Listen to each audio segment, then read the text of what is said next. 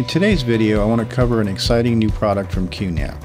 It's the 2.5 gigabit switch that we've been waiting for. If you want to know more about why this is a game changer, then stay tuned for the rest of this video. And if you haven't already done so, then please subscribe and click that notifications icon so you'll be notified of any new content. I've been really excited about getting my hands on this 2.5 gigabit switch. I've had this thing on pre-order for a couple months now because I, I ordered the thing as soon as it, I found out it was coming out. Even though the prices of 10 gigabit switches are dropping, they're still a little expensive.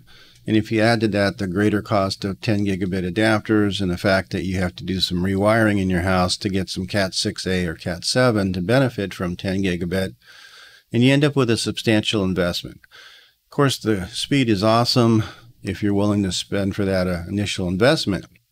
2.5 gigabit has slowly been developing momentum as the new standard, with many motherboard and device manufacturers building in 2.5 gigabit interfaces right into their product. Add to that, the third party adapters are becoming very common and extremely inexpensive. With 2.5 gigabit, you can effectively increase your network performance by 2.5 times using your current wiring. The only real problem was until now is we had no affordable switches to take advantage of these adapters. To address this, QNAP has just started shipping the new QSW 1105-5T. And this is a 5-port 2.5 gigabit switch.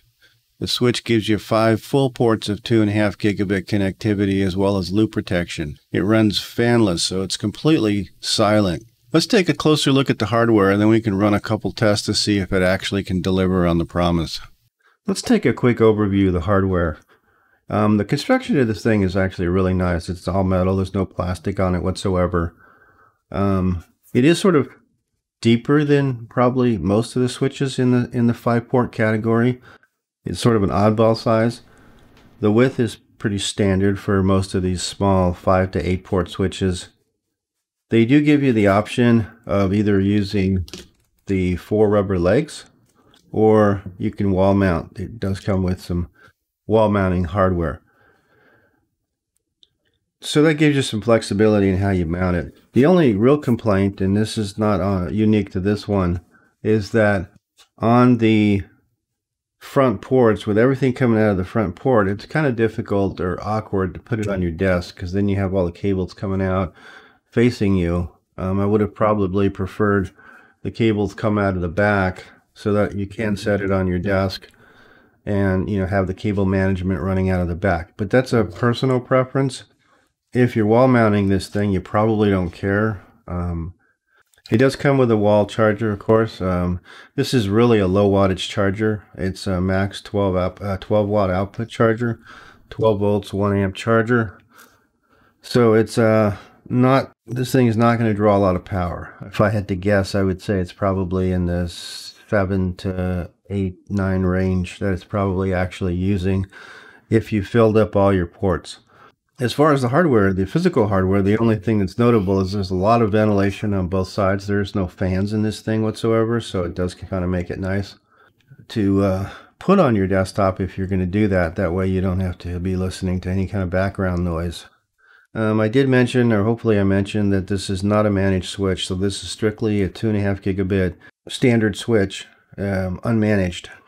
I'm going to be using this um, pluggable USB adapter, which I did a review on recently. I'll post a link to that. It performed really well when I tested it. So this will be a good test to uh, actually see if we can get maximum throughput out of this thing. So with that said, let's go ahead and give this thing a couple of test runs to make sure it's doing what it's supposed to do. And we'll go from there. Okay, before we get started into the test, I just want to go over the, the quick hookup I did.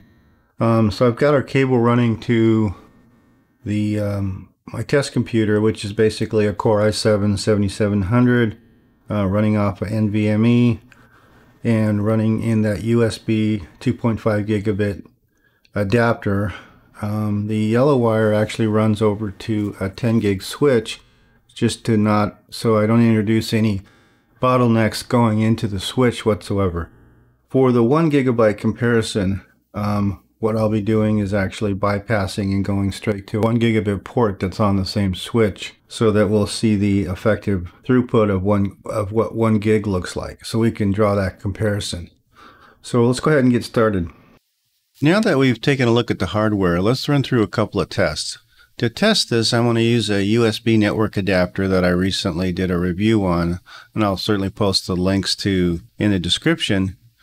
Um, we'll use this to evaluate the hardware.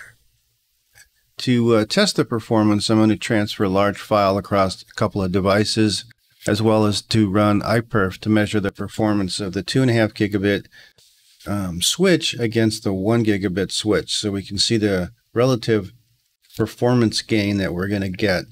Well, as you can see from the testing above, the performance of this switch is fantastic. It's carving through this file copy at a full two and a half times faster without any problems, hesitations, fluctuations of any kind. Looking at the iPerf results, again, we're seeing a huge gain in performance out of this low-cost switch. So based on the test results, this switch does perform as advertised and in my opinion, really changes the landscape. We now finally have a 2.5 gigabit switch that works with your current cabling, all for about $100, and it'll allow you to use low-cost PCI and USB adapters to more than double the performance of your network. Using 2.5 gigabit now has become mainstream and pretty much a no-brainer when next time you do any kind of network upgrade.